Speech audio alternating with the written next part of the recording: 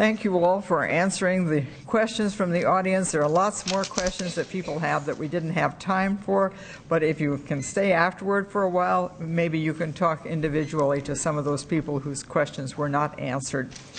It's now time for the closing statements, one and a half minutes each, and we will go in reverse order from what you uh, gave your opening statements. We will begin with Brian Steen. Okay, thank you very much. I enjoy these forums. Uh, I believe we have uh, many issues that we can all learn from in terms of the good and maybe the not so good. I'm looking forward to working with the City of Palo Alto as a council member. I see many large decisions coming before us and small decisions where we, you will need decisive leadership to be able to uh, protect what the city has, protect our character, and to be able to move into the future on a sustainable basis. And when I say sustainable basis, I'm not strict, strictly talking about conservation resources, even though that's my professional background. I'm talking about living within our means. I'm, I'm, talking about having a budget that we know is going to be in the black for years to come. It's not just this particular year. We need to have uh, approval of land use decisions that are also sustainable into the future. These big decisions that are coming before us, uh, whether it's high-speed rail, uh, the Stanford Hospital, these decisions need to be done with the future in mind, and so the decisions that we make now, we'll be able to live with those future uh, decisions and the the possible impacts of those down the road, and I don't want to be able to look back 20 years from now and regret those decisions. So I look forward to being on the council. My name is Brian Steen. I'd like to have your vote. Thank you very much. Nancy Shepherd. Thank you. Throughout my volunteer time, Throughout my volunteer time in Palo Alto, I've always been looking out for the future. When I was working in the schools, it was how can we keep classroom program? How can we organize private dollars to come into the classroom so we don't have to go through wrenching cuts? I've worked on a nonprofit board now where we've been building civic engagement, and I got to lead a, organ, a, a series of meetings that were about making a good community better. I've been out precinct walking and in campaigning for almost every parcel tax and bond that's been part of our community to try to get the libraries in and, and classroom program and new schools. So today uh, I'm looking at my campaign and I've brought in young people to try to work with me to keep this going for our future because I have these skills to bring stakeholders together, form collaborations. I don't mind taking on the big issues and the tough questions, and I get results. I've been endorsed for my values and my principles by many organizations, hundreds of people, citizens, and many dozens of elected officials and formerly elected officials, including jo State Senator Joe Simitian and Liz Kniss from the County Board of Supervisors and I've just gotten endorsed from the Palo Alto Weekly. So please vote for me on November 3rd. Thank you so much. Dan Dykwel. We are a great community with tremendous resources, and like most cities, we face lots of challenges, some of our making, some not. I know the city very well as a parent and resident, as a community volunteer, and as a local businessman. My managerial skills will be very valuable in framing and achieving the strategic objectives, making sure we balance revenue and expenses while still preserving our way of life. So the things I'll focus on are a business-friendly climate and a city administration that supports that. A business license tax that puts the city on a more secure revenue foundation. More and more effective outreach to the citizens so that the council decisions reflect both the desires and the wisdom of our community. The importance of seeing the city and labor negotiations in context so we recognize the needs of each side. Although I went and spoke with the union, I did not ask for their endorsement, but I thought it was very important to show an openness to listen and collaborate. We need to create, of course, a sustainable level of development so that we don't jeopardize our schools, our resources, our infrastructure. My goal is to work collaboratively with the council so that we do achieve strategic results. My judgment will blend analysis, critical thinking, and a desire to make sure it incorporates the wishes and the desires of the community. Thanks for this opportunity to share the afternoon with you, and I ask for your vote. Chris Gaither? Well, I'll say it uh, up front. I asked for your vote on November 3rd, and I do thank you for coming here. Um, when I was managing properties, uh, primarily in a senior community and disabled community, one of my residents came home after being in Lytton Gardens eight months. She stepped off the bus and she cried and she said, Baby, I'm so glad to be home. And I had to hold myself back um, from crying. I had to rush in I said, Let me go get your cart and um, I'll be right back. And as I went through the doors, I started crying and I said, This is why I do this. I believe that public service is very important, and I have the skills from everything that I've done in the past, from managing affordable housing to being a financial analyst to operating two businesses selling cruises and tours, and from providing home health care to quadriplegic gentlemen to be a provider in the community to bridge gaps, and I feel that I can do the job. In terms of issues that are current before us, business license tax, I say no. Let's find more creative reasons or ways to get money in. High-speed rail, I say no wall, and if we have to live with it, uh, we need to go around the 280 corridor. I say long-term, we need to work with our police force and build a better community relationship with the police, and we need to help our schools so that not one more student feels they need to take their life. We are a human resource-rich community. We can pull together, and we can make sure that students know that, you know, it gets better along the way. We are all living examples of that. Thank you. Larry Klein? Thank you. If there's one takeaway that you have today uh, with respect to me, I hope it is experience, leadership, results. In my opening remarks, I spoke about my experience and my leadership, but let me use my last uh, remarks here today to talk about results because I think that's really what uh, it's always all about. And let me just give you three of uh, in the most recent time frame. One, uh, during my time as mayor last year, we passed Measure N, the library bond issue, finally uh, getting us on the, the, path to solving a long-term term problem in our community, our, our libraries. Uh, the council was unanimous, uh, and we worked very hard to keep it unanimous because one of the problems in the previous library vote was that the council was badly split. Uh, I think that was leadership that produced results.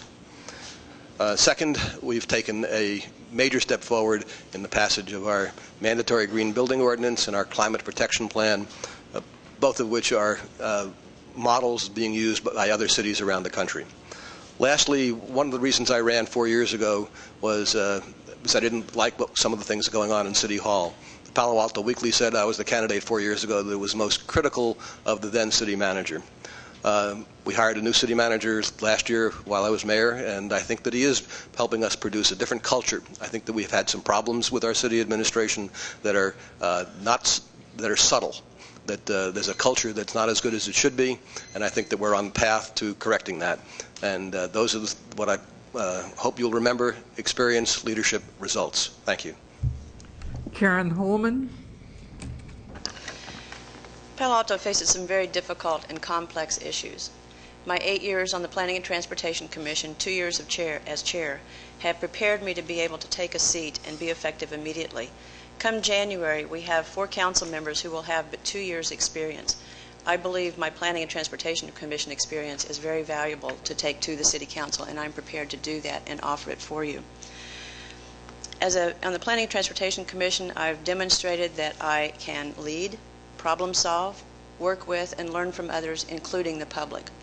I've been honored to earn the endorsement and support and trust of many of you. I've also been endorsed by the Sierra Club, California League of Conservation Voters, Santa Clara County Democratic Party, and several other organizations, and yesterday was endorsed by the Palo Alto Weekly and the Palo Alto Post.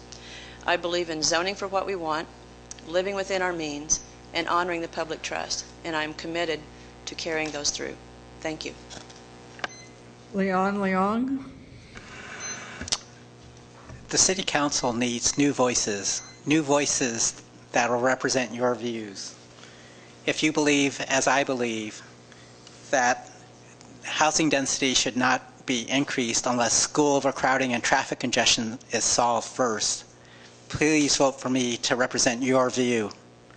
If you believe that the city can do more to attract businesses to and provide for economic health in our city and a broader tax base, please vote for me to represent your view.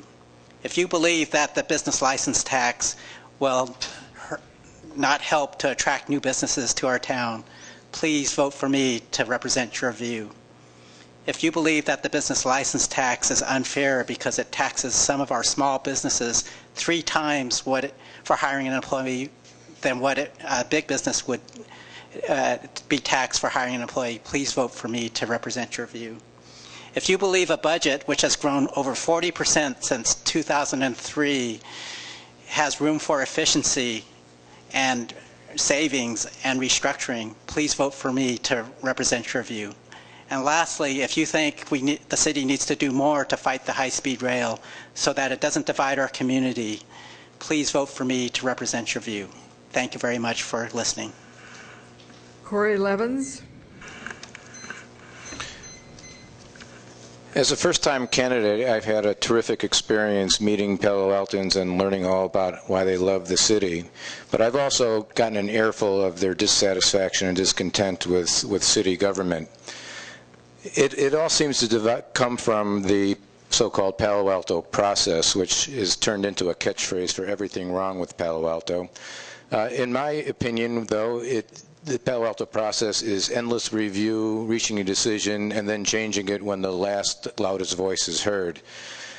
I believe that that we we we need to change this process, but uh, how do we do that? The, the the Palo Alto process, I think, is made possible through the comprehensive plan, which provides for reasoned and and informed decision making. But it's also the, the process by which it's run amok. Now, we can cure this by enacting regulations that strictly tie the hands of people and in, enforcing things, but I think that's an overreaction. Rather, I think what's necessary is to change the, the culture and philosophy at, at, at the top. And how do we do that? We do that by electing council members that have not participated in the Palo Alto process on any commissions that they've served on or, or as council members. We do that by changing the, the, the, the philosophy of council members, one council member at a time. And, and I hope you'll support, I'll be that, that council member. I'll have a new voice and a new perspective, and I hope you'll support me on November 3rd. Gail Price?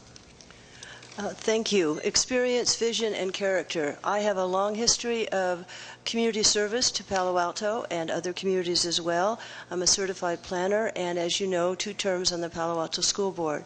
I feel that my record as an elected official and community member is clear. I am known to uh, look at uh, complex problems very carefully.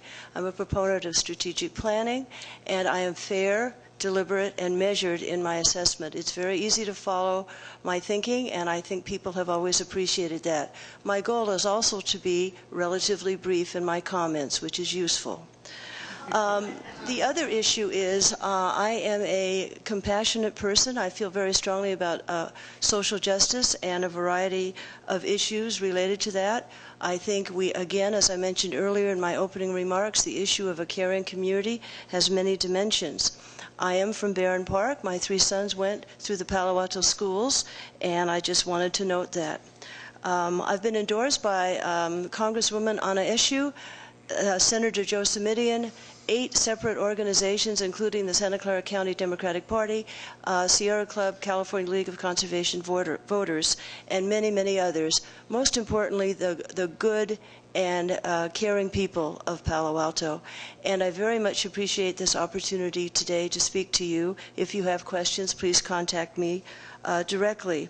It's been a pleasure running in this race, and my website is www.gailprice.org. Thank you very much. Jim Gray?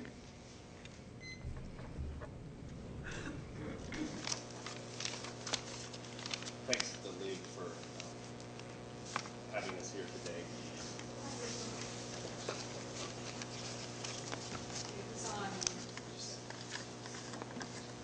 Thanks for the league for having us here today.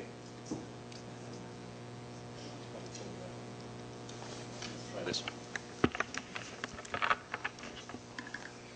This thing on? There we go. Thank you for uh, your time for coming here this afternoon. And I wanted to uh, put aside the issues and reveal some personal information that would differentiate me from uh, maybe some of the other candidates and give you some something to uh, walk away from. You know, it's easy to champion oak trees, but I, I want to set a model to lead the community in conversations in topics that challenge our comfort level. Uh, we have uh, the topic of community, police community relations. We have uh, a long history of racial uh, profiling. Uh, we need to talk about banning tasers. And these are things that will require civil discourse, and our town isn't really good about um, talking about contentious issues without name calling, uh, even talking about union issues. So I want to cha champion us to put aside our personal comforts and really get to the heart of some things that, that care. Things I want to mention are my three children, Michael, Julia, twins, and Catherine, 7, 7, and 10, and my, my older daughter, Catherine, 10. Uh, my wife is a PTA president at Juana School. We've been committed to this town. I work for the Lucile Packard Children's Hospital. I saw Lucile Packard's vision. I worked on it for seven years. We completed it, and my wife and I met there. We adopted our children, and we're committed to this community, and I really want to serve. Mark Weiss. Uh, my name is Mark Weiss. I'm running for City Council, although running maybe isn't the most precise word. I'm sort of taking this at my own pace in certain ways. It's more like a stroll, more like a dance. Democracy is a dance, or like a philosophical walk in the tradition of Rebecca Solnit's recent book. Um, I want to say vote down the BLT, the business license tax, vote against Measure A. It's regressive, it's unfair to small business, it's poorly written. Think of it as a referendum on the current council and the incumbency. And if you're for a new direction, I think a couple of us represent more like the Obama generation. I want to say I'm quite proud that our president won the Nobel Prize, and let's see what we can all do with, with him. And I'm also very disappointed there isn't more talk about social issues, uh, morals. What are the values of our, of our, community? I cannot believe that our community is just about um, numbers on a spreadsheet. I cannot believe that. I've been here my most of my life, 35 years. I'm 45 now. Also, I've been meaning to say all week, uh, someone brought to my attention this is the eighth anniversary of the U.S. engagement in Afghanistan, and that does not represent me. And I'm surprised, you know, uh, Beyond War was started in Palo Alto, and they say uh, think globally, locally. Uh, I'm disappointed in what we do in Iraq. Uh, Oaxaca, were, it's our sister city. There were serious human rights violations in Oaxaca in a military response to some strikers. I never heard peep from the city council here. Berkeley condemned it. We didn't say peep. I went to Oaxaca as an exchange student. Um, I also say I, am not representing this, but I did send in by mail uh, my response to the questionnaire, and uh, I'm kind of old school that way. Victor Frost. Thank you. It is as clear as an Indian spotted pony on the lone prairie that there is something very wrong with Palo Alto City Council and the Palo Alto Police Department. We must work to change this and to resolve these problems to a competent level. This, in turn, will improve the quality of life here in Palo Alto. Soon I'll be starting my annual Thanksgiving food drive for the homeless. Please help us. Thank you. And John Hackman. Again, John Hackman. This election is about experience. Network. Is it on?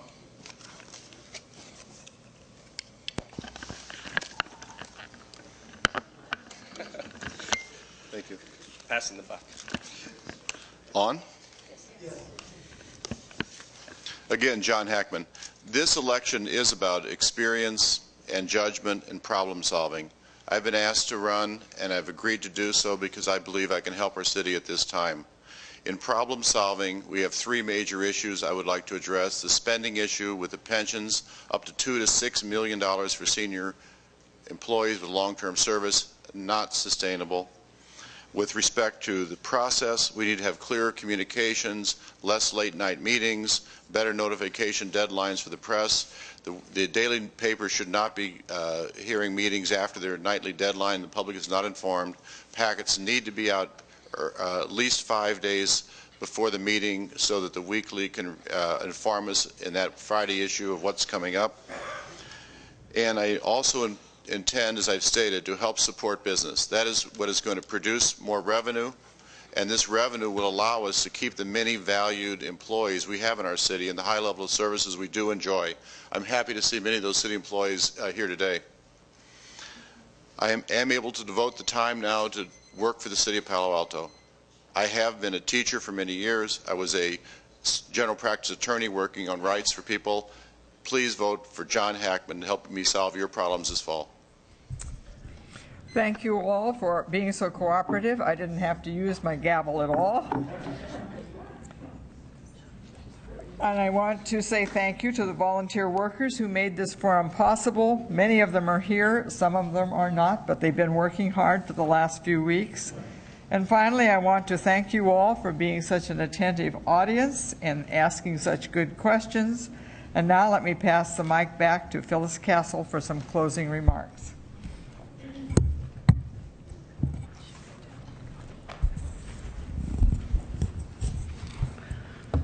Thank you, Irene, for being our moderator for this forum.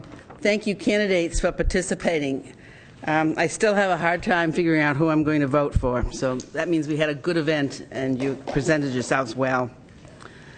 Special thanks to Pat Bendikite, Veronica Tincture, and Karen Sunback for doing the detailed work that happens behind the scenes to make an event like this happen. Thank you to the question sorters, Arthur Keller and Alice Smith. Thanks to Pat Saffer for her warnings to all of you, and you all behaved. Uh, thank you to Vivian Blumenkamp, Mary Cottrell, Litzy Indigan, Bernice Lerb, and Lee Sendelbach for collecting the questions and sorting them out. All of you are great, and you make a forum like this a great event. And finally, a big thank you to the Media Center for all the work of bringing this forum to you, and it will be aired so that you can look at pieces of this again, and you can have your friends also watch it. Don't forget smartvoter.org for more information, and really don't forget to vote on November 3rd or before if you're voting by mail. More voter information is in the back of the room for the League, including our membership forms, and there's candidate information out in the lobby. Now, please join the candidates for talk, and good afternoon, and thank you all for coming.